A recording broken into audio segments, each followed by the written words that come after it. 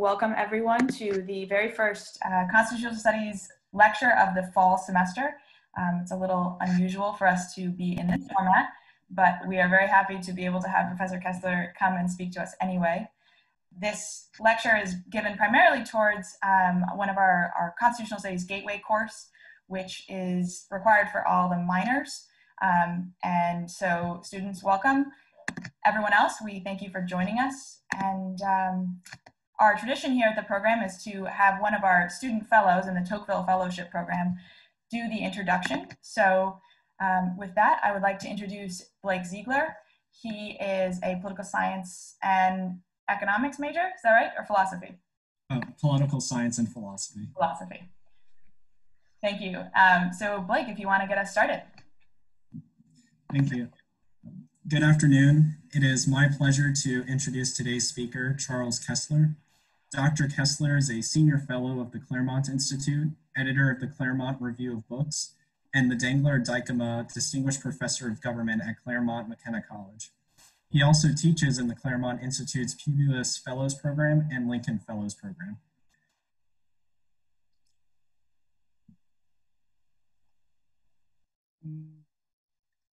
Blake has frozen. Is he still saying flattering things about me? Greatly influenced American scholarship and debate. Dr. Kesler is the author of I Am the Change, Barack Obama and the Crisis of Liberalism, and the editor of Saving the Revolution, The Federalist Papers and the American Founding. Dr. Kesler's edition of the Federalist Papers, which, if you haven't noticed, is the book we use in this class, is the best-selling edition of the work. His lecture today is entitled How to Think About the Federalist. Please join me in welcoming Dr. Charles Kesler. Thank you very much, uh, Blake. I appreciate that uh, kind introduction. Or I, I heard most of it. I didn't hear every word, but it, it, it seemed very nice. Thank you, uh, and thanks for thanks to Soren for hosting this directly, and to um, uh, of course, uh, Dr. Munoz and the Tocqueville program for the uh, very kind invitation, which they actually issued last year. And uh, I was originally going to give this talk um, last uh, fall, I guess. Um, but I couldn't get to, then, then we had a problem. It wasn't yet um, a pandemic, it was just bad weather and so my flight was uh, delayed and I couldn't get there in time. But I'm glad uh, to obtrude on Dr. Rodriguez's time and his class, and my thanks to him as well, uh, in order to um, give this lecture or a slightly different version of it now uh, for um, this course. So um, the subject is how to think about the Federalist, and you, are going to have several sessions. Can I can I ask you to pause for a second? Yes. Um, I just want to make sure getting a message that um, some people can't hear us. So if you don't mind just waiting one more second. Um, sure.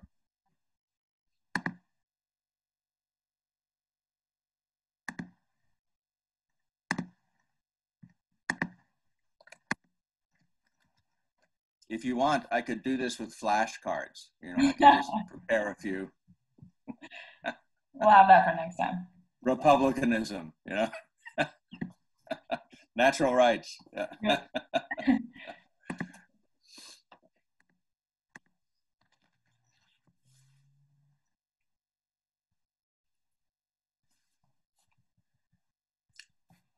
okay. Um,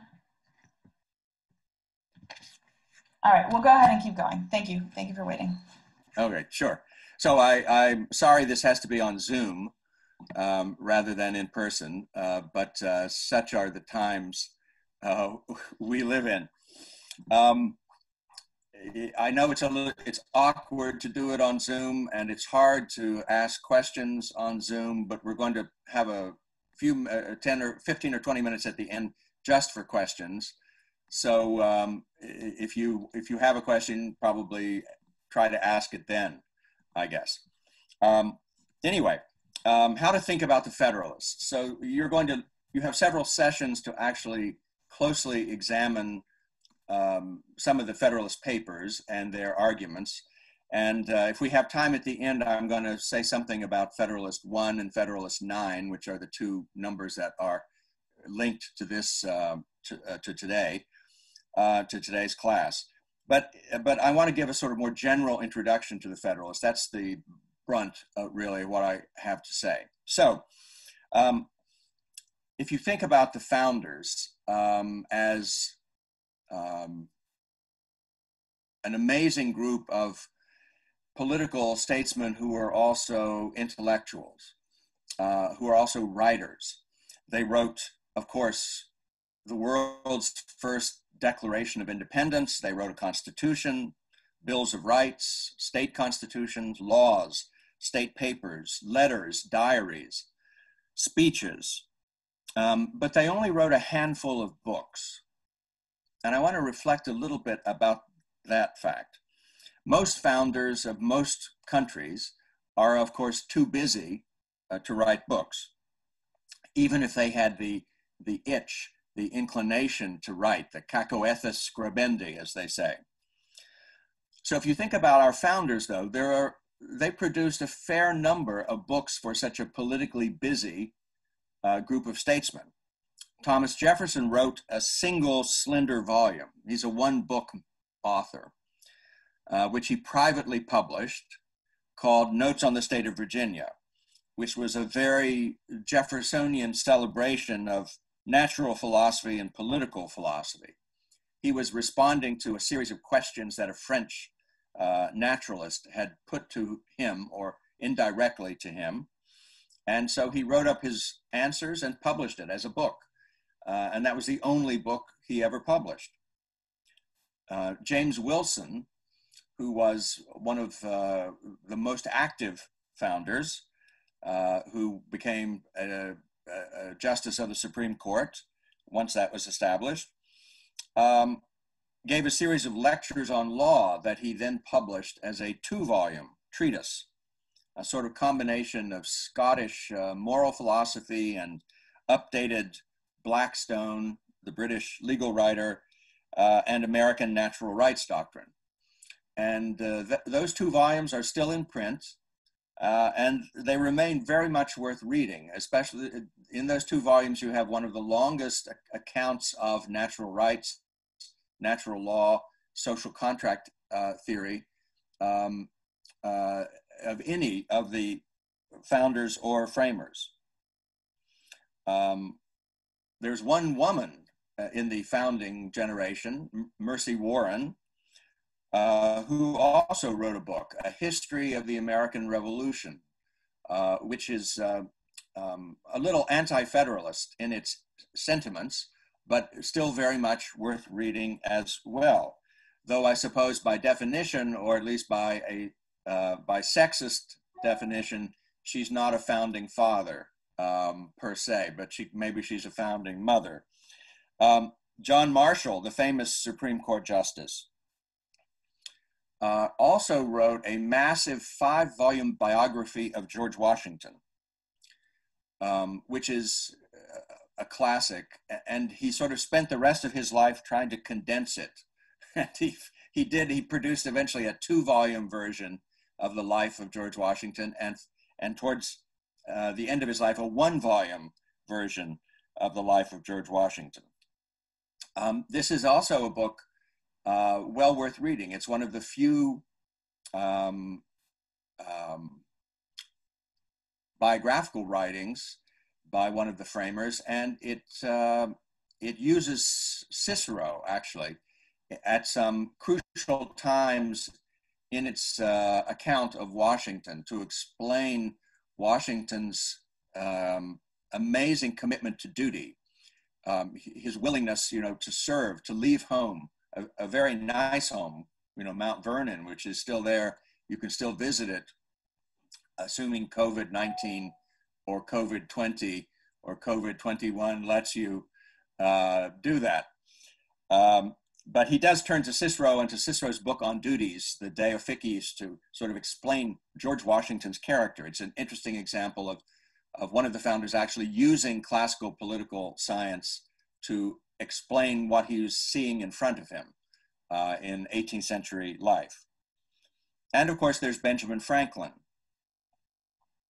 Um, he wrote countless newspaper articles and almanacs, um, and one book um, on his favorite subject, um, himself. Uh, his autobiography was really less about his own real life than it was about the image of his life that he wanted to leave behind that he wanted to propagate to sort of influence other Americans and get them um, um,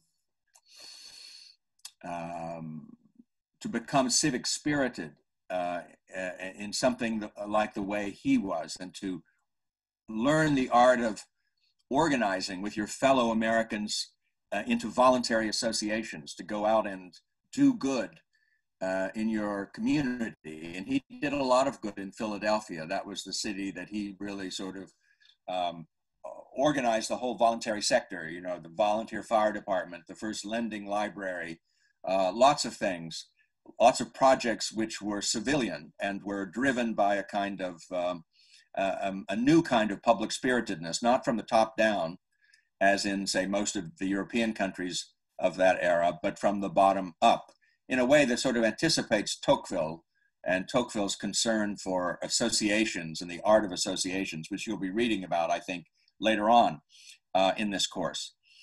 And um, there's a minor founder, uh, Benjamin Rush, who was a physician and a patriot uh, physician, you might say, who wrote numerous medical treatises, including one on the most famous one is on bloodletting, you know, putting those little critters on you so you bleed. They suck the blood out of you. That uh, he was a big fan of that. Uh, and he wrote a treatise uh, describing how it should be done and when um, it should be done. But he also wrote a volume of essays uh, literary moral and philosophical. And finally there's john adams who's sort of in his own class. Um, Adams turned out three massive volumes um, called A Defense of the Constitutions of Government of the United States of America when he was in Paris, um, 1787, 1788. He was not um, at the Constitutional Convention. He was uh, engaged as a diplomat abroad uh, at the time. And he added a fourth volume to this when he was vice president a decade or so later, uh, called Discourses on Davila. You know, Samuel Johnson famously said of John Milton's Paradise Lost, uh, Lost, a quote, none ever wished it longer, unquote. Um, and it, it is a great work, Paradise Lost, but none ever wished it longer. And the same thing could be said of John Adams's treatises on political science, most of which it turns out he borrowed from other writers. If you actually look at the books, which I don't recommend necessarily, um, hundreds of pages are lifted from Adam Smith, from histories of Florence, from all kinds of secondary sources.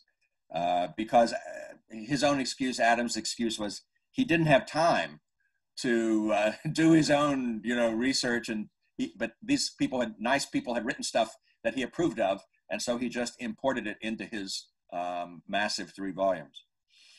But mostly the founders were not book writers.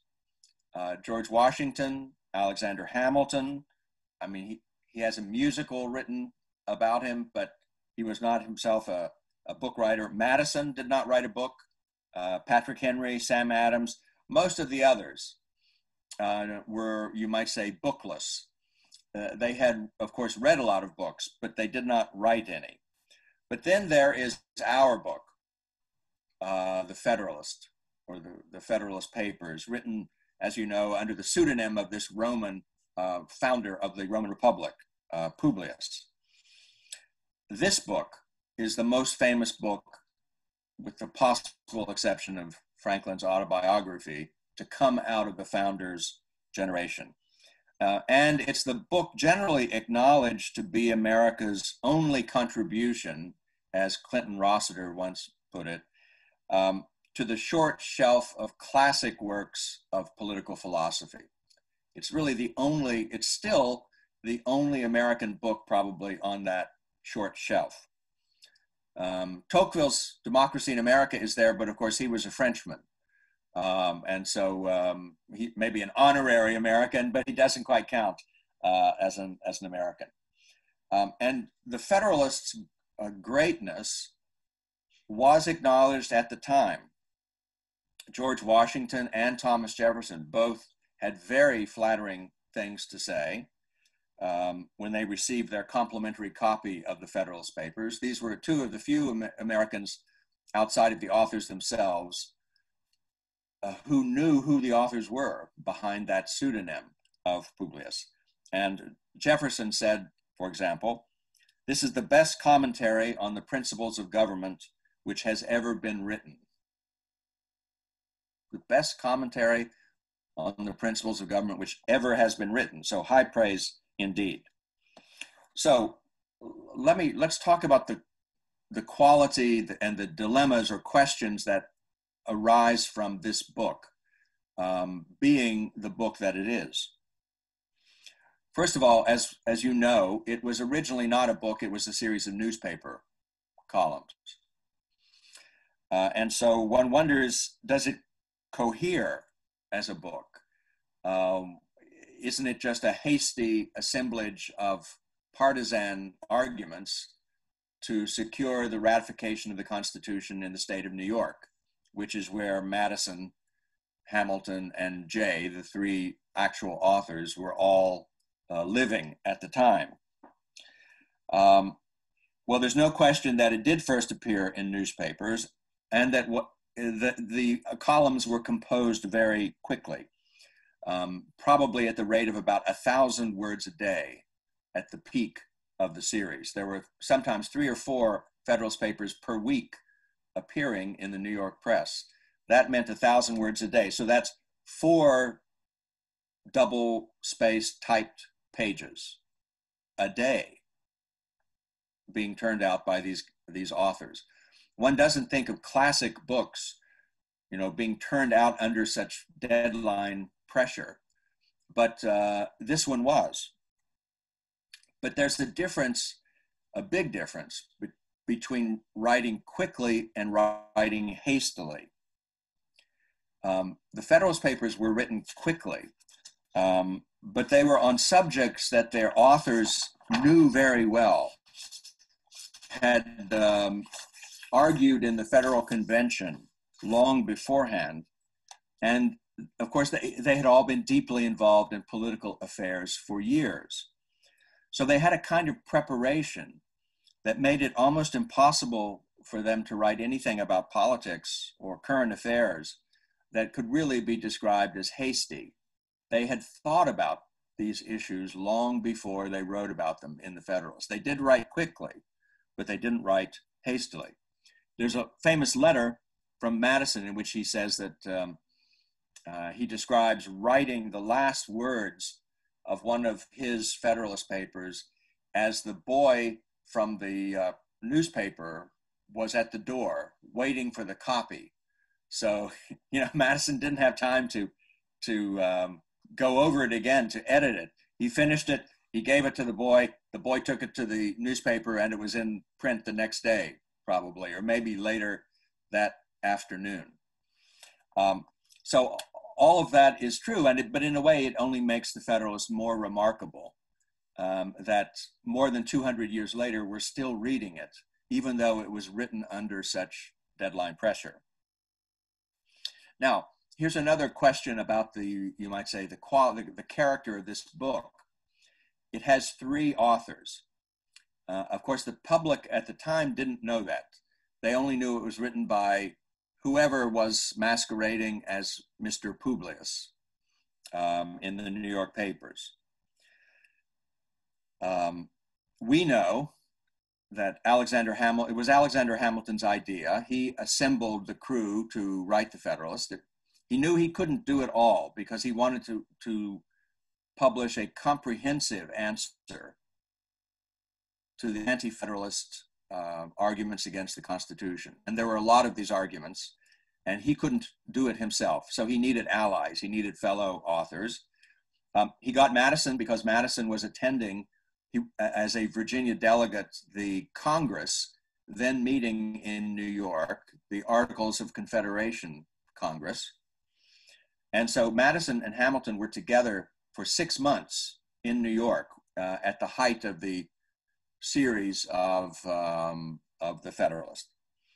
Uh, unfortunately, we don't know because they were in the same city. They didn't ha- they didn't write letters to each other. We have no record of how often they actually interacted, or what they said to each other, or you know whether they read each other's copy, whether they edited each other's copy, whether they talked about the direction of the newspaper series. We just don't know. Um, it would be interesting to find out, but I, I don't think we shall. And then the third author who was the oldest and the most widely known in his own right, John Jay, um, who was a well known lawyer. He was a diplomat, and he was the major author of the New York Constitution, which had just been adopted uh, in the preceding decade. So together they were um, Publius.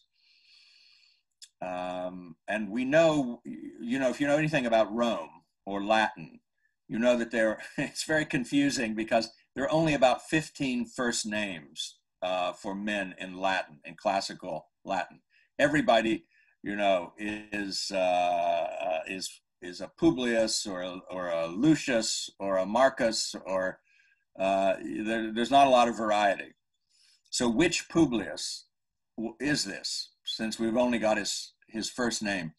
Um, well, again, thanks to to a letter um, much later from Madison, we know for sure what everyone, I guess, sort of suspected that this Publius is Publius Valerius, who was one of the founders of the Roman Republic. Um, if you ever read Machiavelli's uh, discourses on Livy, you know he talks a lot there about Brutus, uh, Lucius Junius Brutus, who was sort of the main founder of the Roman Republic way back when. Um, Machiavelli goes on and on about Brutus because he uh, he makes um, um, he makes him a kind of emblematic founder, and he's very impressed with one late one action of, uh, Brutus in his founding career, which was to order the execution of his two sons, of his own sons, because they had plotted against him and the new Republican order. They were apparently trying to bring back the exiled king that Brutus himself had kicked out. So Machiavelli makes a kind of slogan of this to kill the sons of Brutus. And from, from Machiavelli's point of view, that's political seriousness.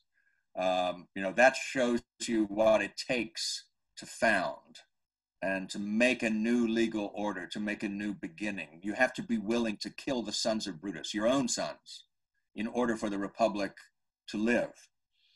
Um, but the Americans are more impressed by, as it were, Brutus's partner in founding, uh, namely Publius Valerius. And this Publius is, our Publius, the American Publius, is named after that Roman Publius, who was also there at the beginning and who survived um, beyond um, uh, Brutus's death uh, and was the sole consul of Rome for a while and used that extraordinary singular power he had because Rome so hated kings that they made a dual executive for themselves. You know, the Republic always had two consuls who served one year uh, at, at the same time. And it was always an interesting problem to divide up consular authority in some way. But one, when Brutus died early in the Roman Republic, it left our guy, Publius, in the odd position of being the, the singular ruler of Rome again. But he didn't take it back to monarchy, or he didn't try to make himself king or tyrant. Instead, what he did was use that exceptional authority to broaden the democracy, to stabilize it. Um, he, introdu- he introduced um, a, various kinds of legal reforms. He lowered taxes. He did all kinds of things to make the, the nascent republic more popular, more stable, uh, and a better, more enduring form of government.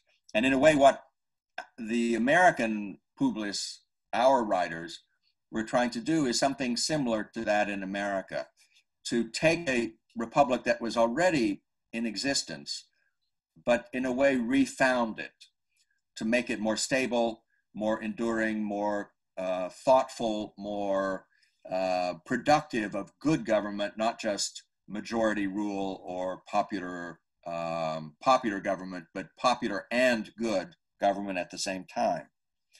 Um, because, as you know, we already had one national constitution called the Articles of Confederation, which had come into effect in 1781.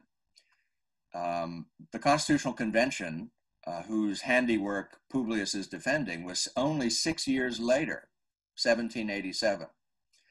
Um, Americans like to think of their political history as a, as a kind of success from the very beginning. You know, peaceful, successful, uh, enduring. But the fact is, our first constitution was a failure, and it was rejected within six years, basically. And what we regard as sort of the um, amazing wisdom and, and I suppose effectiveness of our Constitution is really of our second Constitution. But it was part of Publius's strategy to make you forget the first and to make this the American Constitution. We'll talk a little bit more about, about that um, in a minute. All right, but um, as a book, having three authors uh, is an awkward thing. Does it, as several scholars have argued, does it suffer from a case of schizophrenia? Um, is the book divided against itself because it has had uh, two principal authors, three authors uh, in all? Um, I would argue it isn't. Um, even though you had three authors, in a way, they had, it's still the work of a single pen even if that pen was passed from hand to hand uh, among three able writers. And one sign of this is the difficult resolution of the so called authorship question. You know, uh, both Madison and Hamilton left lists of the numbers of the Federalists that they wrote. Hamilton's list was written hastily because he had a duel to go to. Um, Madison's list was written much later in his life, and he had all the time in the world to, to think about things and to come up with his list of uh, the Federalist Papers he wrote. The problem is the two lists conflict uh, in about five or six numbers of the Federalist Papers. They mutually claim them um, as exclusively their own, so they both can't be right. They do acknowledge some of them. They do acknowledge there are ones that they both worked on, that's not a problem. It's the ones that claim singularly uh, that conflict with each other that form the problem. Um, and so in the 20th century, and even in the 21st century, as you might imagine, computers, uh, algorithms, statistical programs of various kinds have been set to work to try to figure out who wrote what, who wrote which of these mutually claimed Federalist Papers. And I'm glad to report to you, uh, report to you that the computer algorithms don't know. Um, they were they're, they're basically inconclusive. They can't tell the difference between the styles of Madison and the style and Hamilton. When the computer sets, you know, to count the frequency of various words, the length of sentences, um, you know, the use of active versus passive verbs. I mean, they've used every kind of statistical screen you might imagine. But it turns out, I think, that that all three men wrote to a common standard. They all wrote like Publius. They all deviated from, you might say, their most personal quirks in writing to take up a, a, a common personality of this American Publius. They wrote to a sort of common uh, standard. And in that sense, you could say the Federalist is a sort of reenactment in, in miniature of the miracle of the Philadelphia Convention itself. You know, you've got all of these, these 55 very smart, accomplished um, individual thinkers together in the in Independence Hall, uh, in Philadelphia, and they came out with a document which they unanimously agreed to. And that's a kind of, you know, that's Catherine Drinker Bowen wrote a famous book many decades ago called Miracle, The Miracle at Philadelphia, which was about that convention being able to agree. Of course, it wasn't, the, the truth is, it wasn't quite unanimous because three members of the convention re refused to sign, um, and they left uh, without signing it. I'm not sure whether they are, therefore, um, leavers, uh, in, to put it in British parlance, or remainers because they wanted to remain with the Articles of Confederation, but they left the convention. So uh, I don't know, they're leavers and remainers uh, in some complicated sense. Um, but nonetheless, the even if it wasn't, you might say, entirely unanimous, it was everyone who stayed signed, uh, and that was 39, the vast uh, majority. So you can say that the Federalist represents the common ground on which Hamilton, Madison, and Jay could meet. You know, what they agreed um, needed to be said at that moment in order to save the country uh, from anarchy or tyranny, uh, in order to secure the future safety and happiness uh, of the country. But this uh, common ground was not a least common denominator. Uh, and so I want to say something now about what it is that they um, were trying to do when they wrote the Federalist.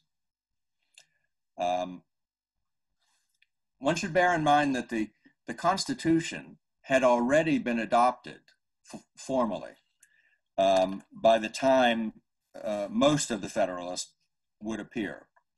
Um, according to Article 7, you know, which is the last article of the Constitution, uh, it takes only nine states of the 13 to ratify the new Constitution. Well, not long after the Federalists began publishing, nine states succeeded in ratifying it. Technically, it was not long into the Federalists' publication that um, they had succeeded in a certain sense. The Constitution had been adopted by uh, uh, the Union.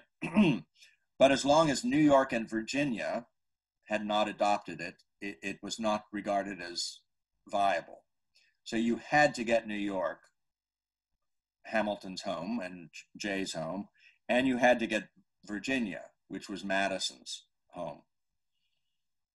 So in a way, ratification was not the issue.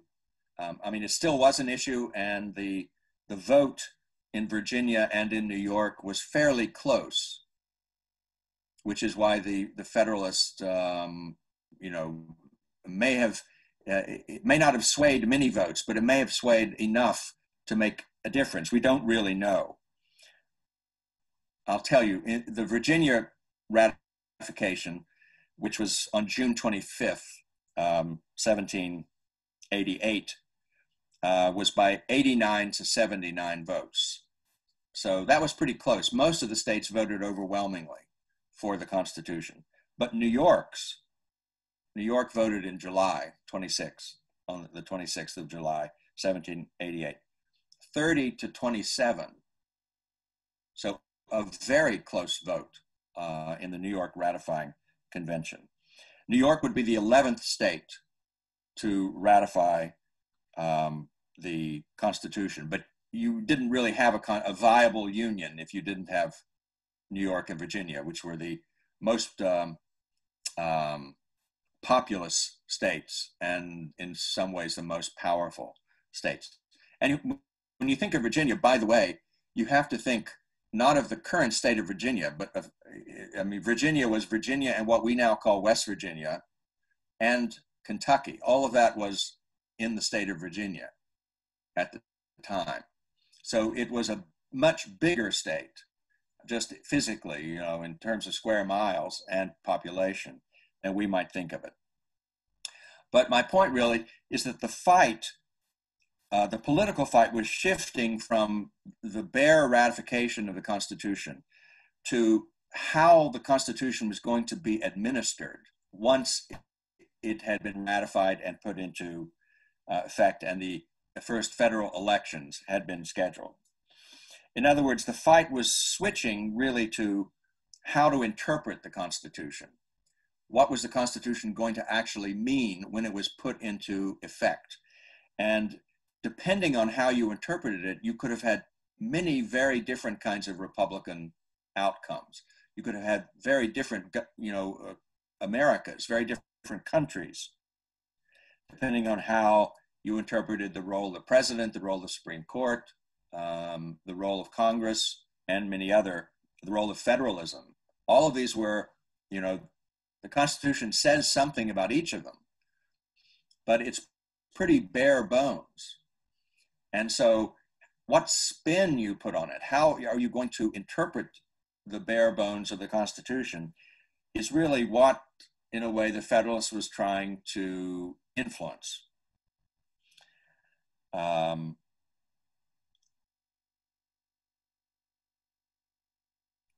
and I won't be giving anything away to say that the, the, the Federalist wants to give a um, uh, an interpretation that is very friendly to the nation.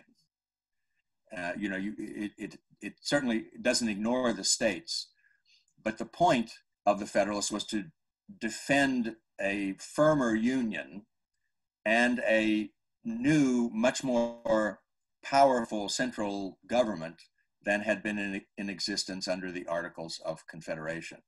It was, in its own context, a centralizing docu- doc- doctrine. It's, it, it centralized more authority in a new national government, and it changed the nature of the Union because it took away some powers from the state governments and gave them to uh, the federal, the new federal government. It also created a, a limited government I mean, it didn't allow the federal government to do whatever it wanted, but it did want the federal government to have more authority, more power in certain areas which were needful and which were, uh, in fact, indispensable to national integrity and national success, its authors thought. So I would argue that the Federalist was, in a way, so successful in imparting its spin to the Constitution. That when we read the Constitution now, we tend to read it the way Feder- Publius taught us to read it without even knowing it. Uh, uh, so great has been the book's enduring influence that it's hard for us to see its strategy. Um, so let me try to unpack that strategy for just a moment. Um, if we if we read the Constitution or try to innocently, that is, if we take off the glasses that the Federalist Papers uh, gave us with which to read the Constitution, um, the document looks a little bit different, or at least potentially different from the one that we are familiar with. Um, you probably know already, for example, that the term judicial review does not appear in the Constitution. Um, there is in Article 3 a, a, description of the federal courts and of the Supreme, well, actually, only of the Supreme Court. But um, what its job is exactly, how extensive its powers are, and in particular, whether it and how it can overrule congressional law, congressional acts, uh, is all very up in the air. Nothing specific about that. But when we think of the Constitution, probably one of the most characteristic things we think about is uh, judicial review and the Supreme Court. Um, the Philadelphia Constitution, the text, doesn't mention separation of powers or speak of the three branches as equal or coordinate. Of course, Article 1 is on Congress. Article 2 is on the presidency. Article 3 is on the Supreme Court or the judiciary. So there is a kind of obvious departmental separation. But uh, there's, there isn't a theory of the separation, you might say, in, in the, in, in very much evident in the document itself. Congress is the first branch. Uh, and what does that mean? Is it the most fundamental branch? Is it the most important branch? Is it the most powerful or authoritative branch? Who knows? Um, Congress is given a lot of power, uh, and nothing in the Constitution forbids Congress from using that power to the max. Um, I mean, power of the purse or the impeachment power could have been used, um, you know, force presidents or the Supreme Court to bend to its will because it dislikes the president's policies or because it dislikes a court ruling uh, in particular. Even today, you know, the composition of the Supreme Court is entirely a matter of statute law. Um, you could pack the Supreme Court anytime you had a president and a Congress who wanted to. You could change the size. You know, we have nine, we've had nine Supreme Court justices for a very long time, but that's set by law. There's nothing in the Constitution about how many Supreme Court justices uh, you're supposed to have.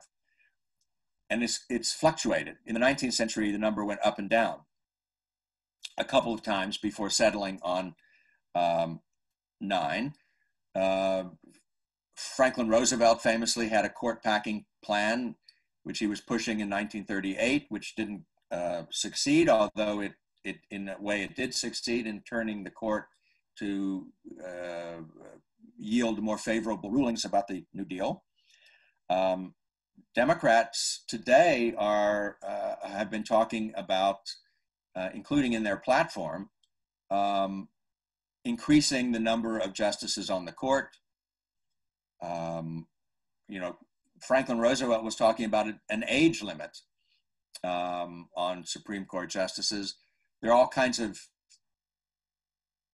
interesting thoughts circulating about what one could do to um, um, bring the court under control, political control. My point is only Americans have always been averse to doing that. Um, we have a kind of reverence for the court and for the Constitution in particular. Where does that come from? Um, in part, I think it is a deliberate creation of the Federalist Papers, of the kind of argument that they have taught us, the kind of regard they have taught us to have for uh, the Supreme Court and really for the founders, the framers of the Constitution in particular, uh, ever since. But let me give you an historical example to sort of um, back up what I'm saying. Let me take you back to 1824. Um, by, I would say by this, by 1824, the Constitution was well on its way to becoming a regime of parliamentary-like supremacy. Um, by this point, this was at the end of the so-called era of good feelings, you may recall from a high school history book, dimly. Um, the Congress nominated both parties or all the parties um, nominees for president. They had caucuses of the Congress who, who nominated Andrew Jackson uh, to run, who nominated Henry Clay, who nominated uh, uh, John Quincy Adams to run uh, for the presidency in 1824. And then there was um, a stalemate in the, uh, in the electoral college. Nobody had a majority. And so the, the selection of the president went back by constitutional uh, writ to the House of Representatives. The very people who had nominated the candidates now had to decide which one was going to become president in 1824. um, and of course, uh, uh, they picked John Quincy Adams, uh, which um, um, Andrew Jackson um, deeply resented, and uh, he accused uh, the Congress of, ha- of having a corrupt bargain. You know, getting um, uh, giving the giving the office to um, John Quincy Adams and making Clay Secretary of State. Uh, you know, th- that was the essence uh, of the bargain. So Jackson, who's kind of like Donald Trump, you know, he, he could get angry. and he sometimes rubbed people the wrong way. And when he did, he rubbed harder. you know, he's that that sort of guy, some somewhat. Um, he ran again for the president in 1828. he won it this time, and um, he and Van Buren, his vice president, really created the American party system um, to take the nominating power away from the House and give it back to the um, people, you know, to keep the president independent uh, of Congress. He was, what he was doing was in a way restoring America's constitutional balance um, in line, in line with the Federalists' own teaching about separation of powers and the independence of the executive.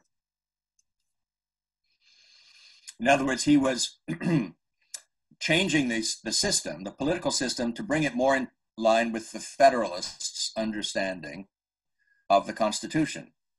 But there's nothing in the Constitution per se that says caucuses in the House of Representatives can't nominate candidates for president uh, of political parties. There's nothing in it or against it uh, per se in the Constitution. So, my point is that our understanding of the Constitution as a system of checks and balances, separation of powers, judicial review, federal balance, a few and infrequent amendments of um, distributed and moderated, and above all, constitutional majorities, as Lincoln called them, in compliance with the cool and deliberate sense of the people and that means the whole people, not just the majority. All of these key elements of the way we understand our Constitution owe as much or more to the Federalist than to the document itself. The Federalist has taught us to want and to expect these um, aspects of constitutional government, except on the question of the Bill of Rights.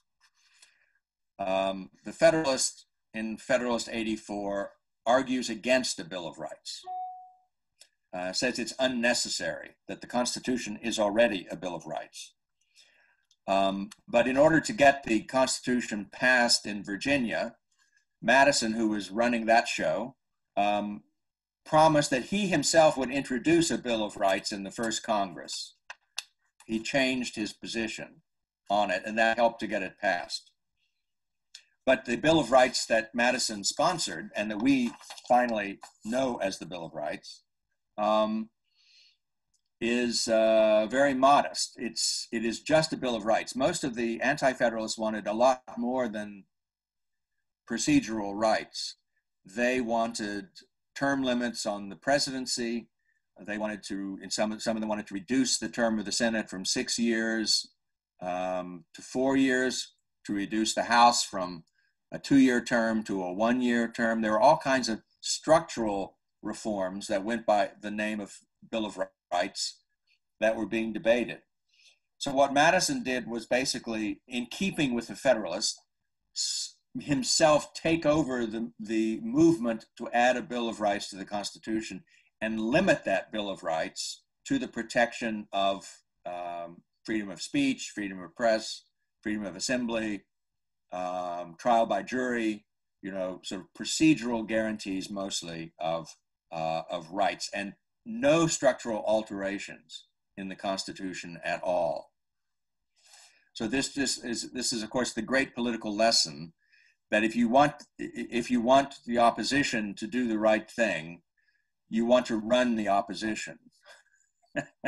you don't want to let them, you know, do their own thing you want to subtly make sure they're doing what you want them to do, even when you seem to be conceding to their uh, positions. Okay, let me come to my uh, sort of final point, uh, which is what, what is the, the character of the Federalists' teaching about government, about the Constitution?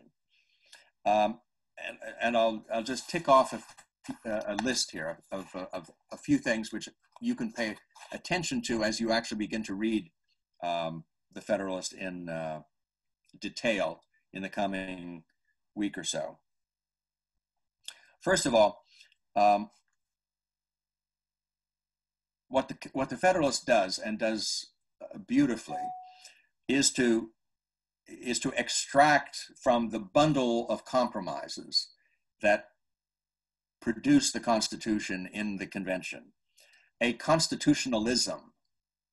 In other words, the Federalist shows the document is not just a sort of incoherent bunch of proposals slapped together. Um, there's a reason to it, there's a doctrine that unifies it.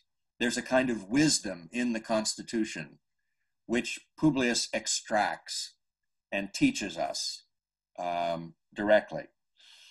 Uh, that wisdom, that is the interpretation, the spin uh, that Federalist gives the Constitution and has given us in a way uh, ever since. What Publius does is show you that the Constitution could be, is coherent enough to be the product of one mind, as though you, you could give an account of it, and therefore one, mi- one man's mind could conceivably have legislated it all in accordance with that intent. In other words, what um, um, uh, many observers have called the cult of the Constitution, the sort of the worship of the Constitution in American politics, is something that Publius uh, is strategizing towards. It's a goal of his that we can that we uh, can see um, that this is the product, the, the Constitution is a product of a founding or of a founder. Now, um, Publius actually discusses foundings in 37 through 40. I don't know if you're reading uh, those any of those particular numbers or not, but that little section is about comparing uh, ancient foundings to America's founding. And what was characteristic, he argues, of ancient foundings, one of the things characteristic of it was that they were the work of one man, one founder, you know, Lycurgus in Sparta, Romulus in Rome, um, and even say Solon, the democratic founder of Athens. Uh, but America was founded by committee. Uh, you know, the Declaration of Independence is signed by uh, multiple people. The Constitution uh, is signed by uh, 39 people. The, the convention had 55 members. Um, we don't have one great founder. We have founding fathers, you know, eh, maybe we have, but that's a set, a plurality. But yet, what Publius teaches us is that, in a way, the Constitution is what Publius has taught us to say it is. So Publius, in a sense, becomes a kind of founder, the one man whose mind we now see permeating the Constitution and behind the Constitution. So, to the extent that we look up look up to the Constitution as something wise, uh, as something you know well thought through, deeply, profoundly thought through, that's what Publius wants us to think of it.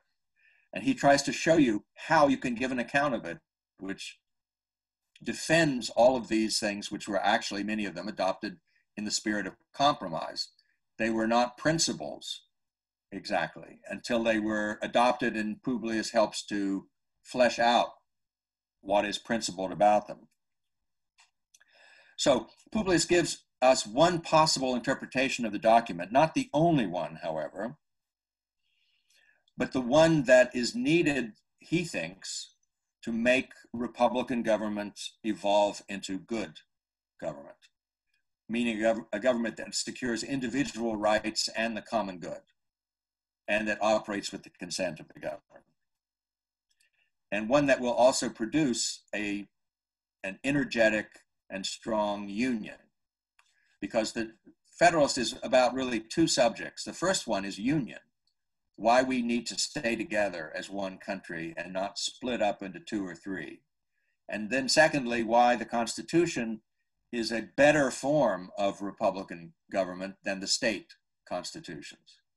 So he has, in, he criticizes in the first part of the Federalist, the first volume, the target is really the Articles of Confederation, its weak form of federation or federalism. But the target in the second part is, is the nature of Republican government. It's the state constitutions that are really um, coming in for a kind of criticism.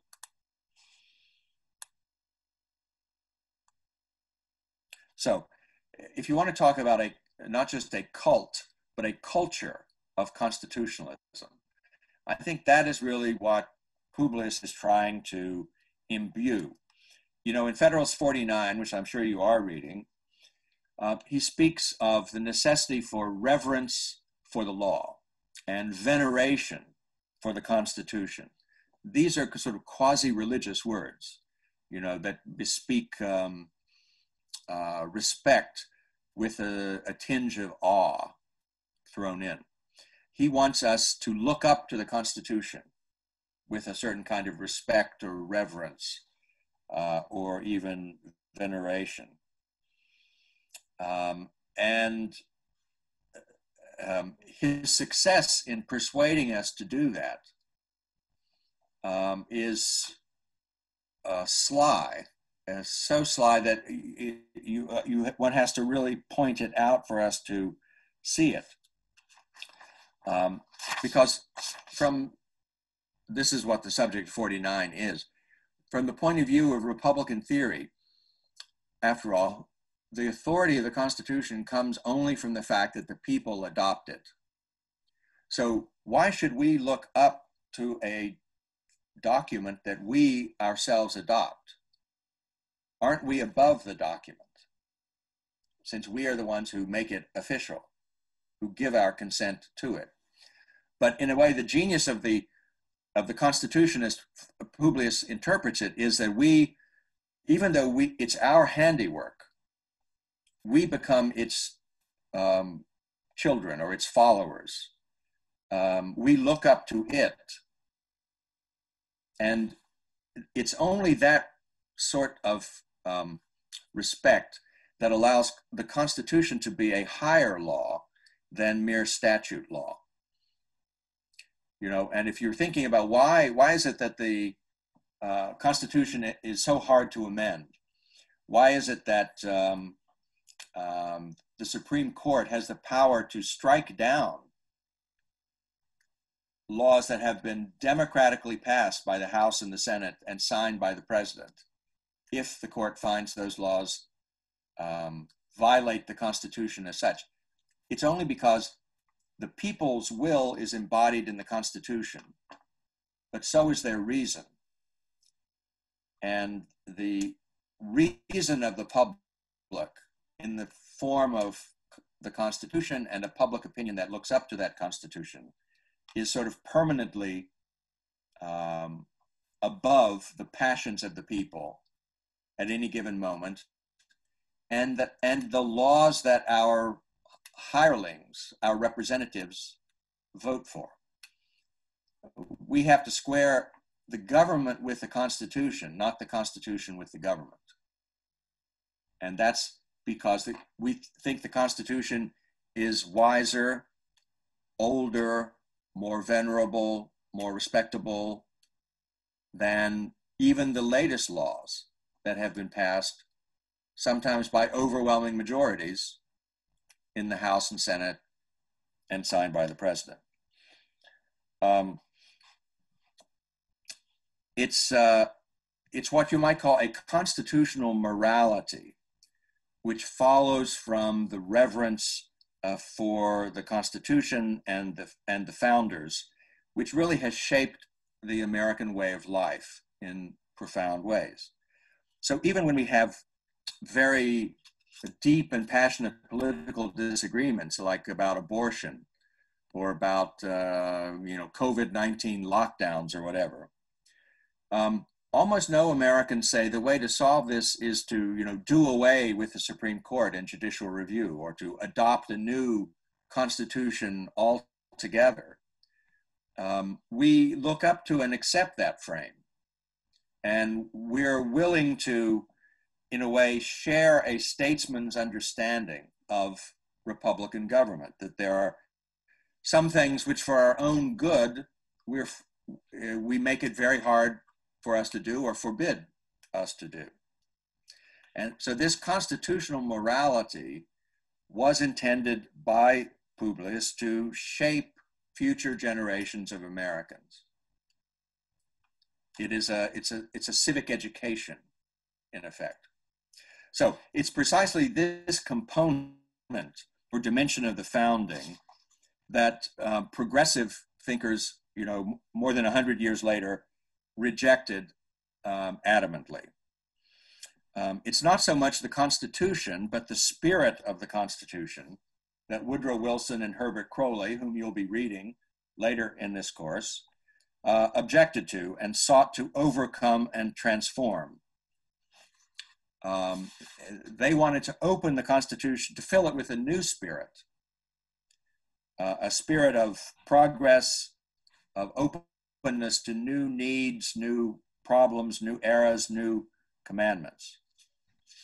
Um, and it's also this sort of high tone dimension of it um, that some critics on the right um, don't see in our constitutional system. So Patrick Deneen, esteemed Notre Dame professor, um, whose book, Why Liberalism Failed, Answer Because It Succeeded, um, in, in, a way uh, follows the progressives in thinking that um, the, the Federalists' constitutional morality is simply the new science of politics or the Enlightenment, uh, the, you know, the, the radical uh, enlightenment that follows the moderate um, enlightenment. But I, I think th that's wrong. I think both um, the Deneen argument and the progressive argument is wrong because it misses the quality of the Federalist as a pedagogical work, um, as a work designed to prepare the opinions of future American citizens, and thus to shape the way we think of our interests and our passions to square them with the Constitution rather than um, cultivating them against the Constitution or outside of the Constitution.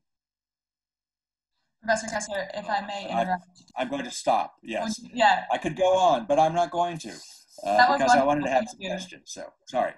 Thank you so much. And for everyone who's tuning in, um, if you'd like to ask Professor Kesler a question, we have a few minutes here we ask that you use the raise hand function, which is under participants, um, and I can then call on you and unmute you, and then you can ask your question. Um, we also have a tradition here in the program of starting with undergraduate student questions. So if any of our students would like to go first, um, please raise your hand.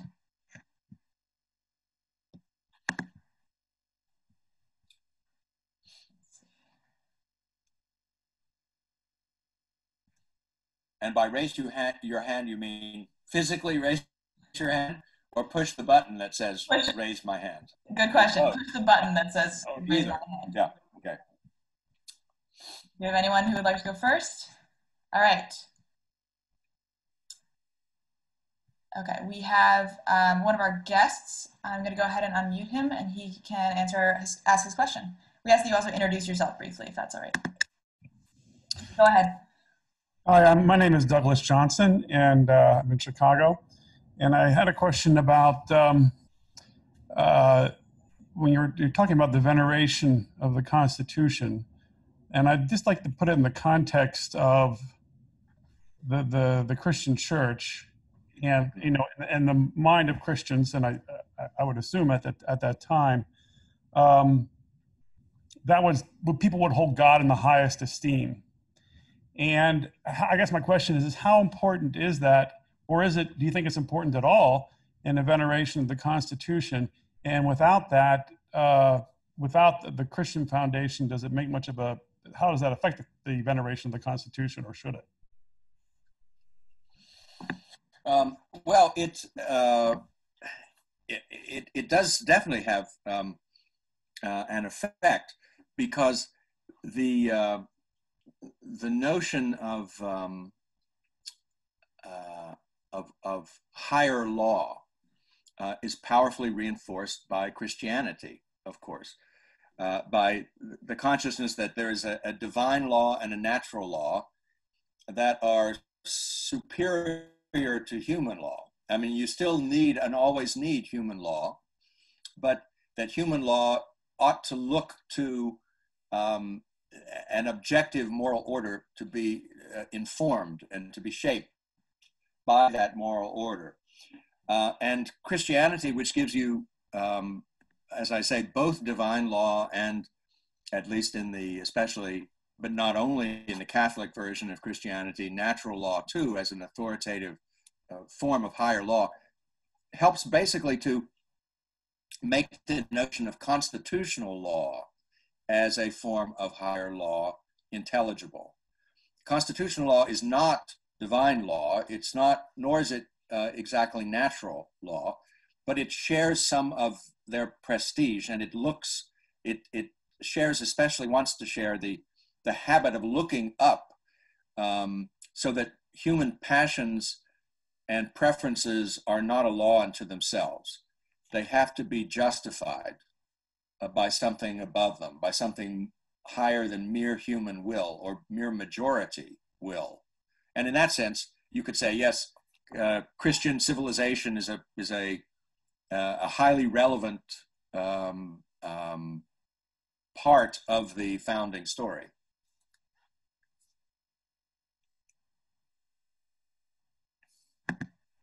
Tom Murphy, you can go ahead. Uh, yeah. Yes, hi. I'm uh, I'm Tom Murphy. I'm a senior here uh, at Notre Dame's program of liberal studies, which is our Great Books program. Um, you spoke a bit about how um, the Federalists' Papers sought to give meaning to the structure of the Constitution, and how uh, you know that was a change really to be more of a, a union, more of a nationalist uh, structure and meaning than the Federalist Papers. I was wondering if you could expand a bit on what that change meant when you said uh, that it was designed to prepare opinions for future Americans, how that meaning kind of changed from the Federalist for future Americans or from the articles to uh, the new Constitution? Well, um, there are two kind. There are changes. That's a good question. There are changes on two levels. One is about rep- federalism, and one is about republicanism.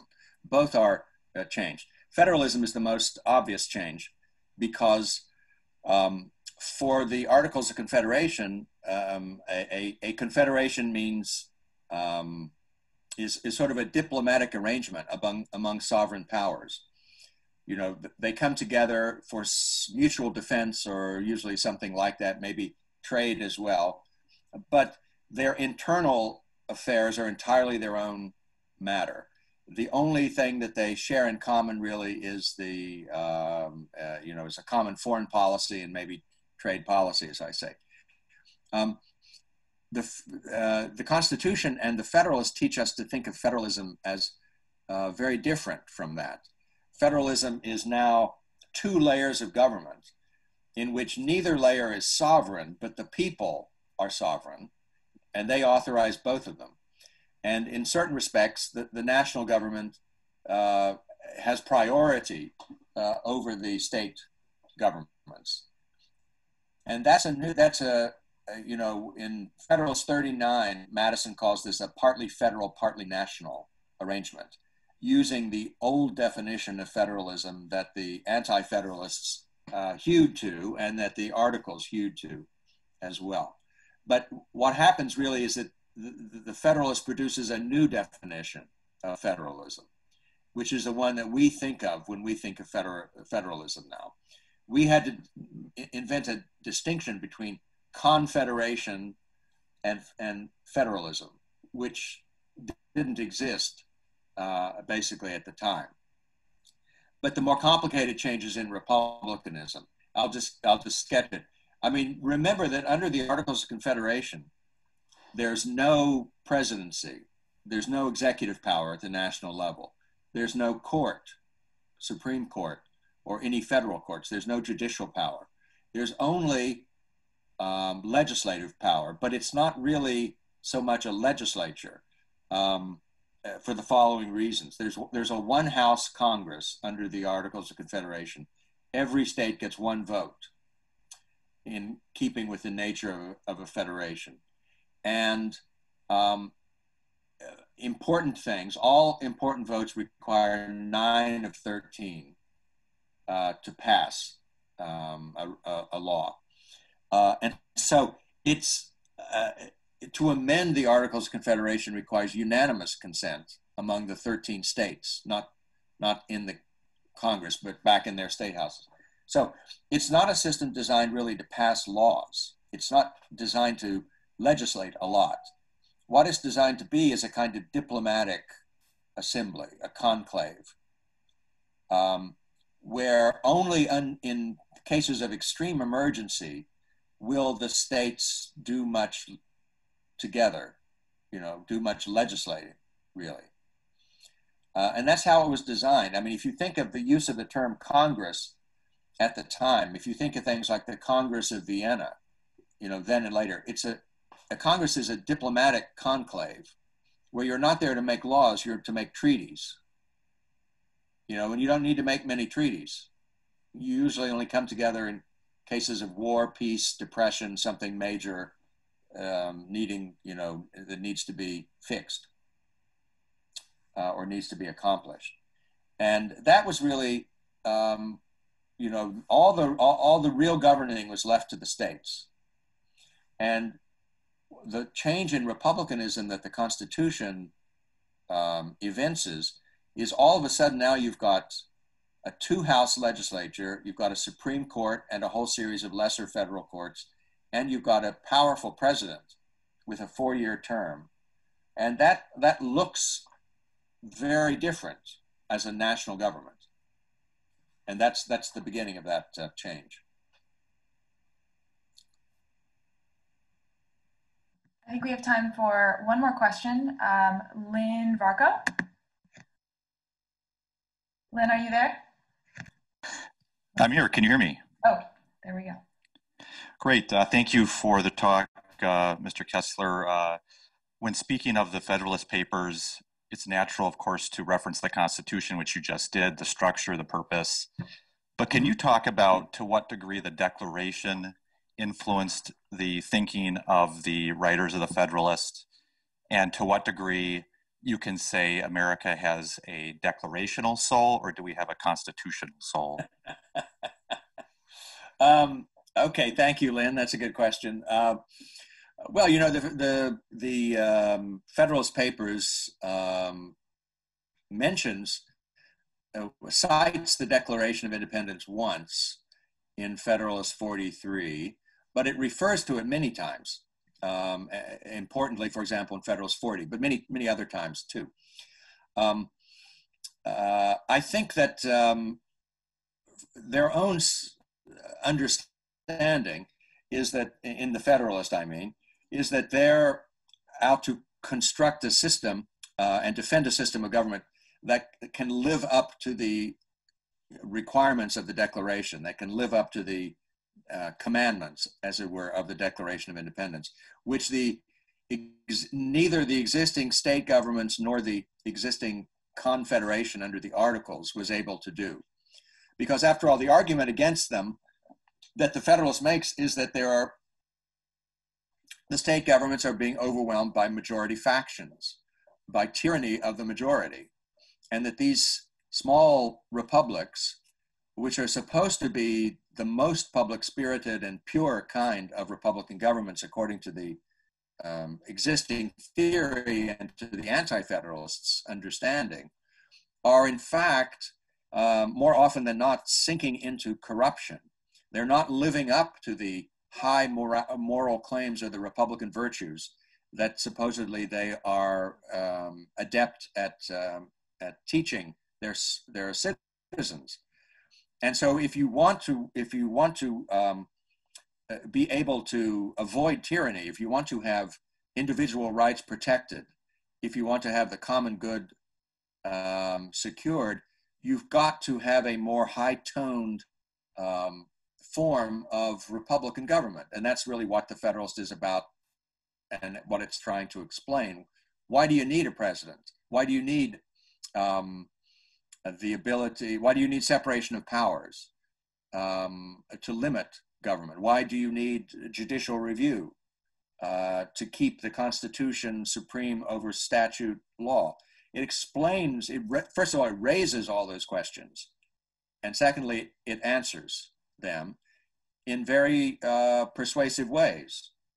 And, and in doing so, it is, in, I think, in its own um, understanding, uh, uh, fulfilling um, the requirements of, of um, a, a, moral republicanism that the Declaration of Independence, above all, points to.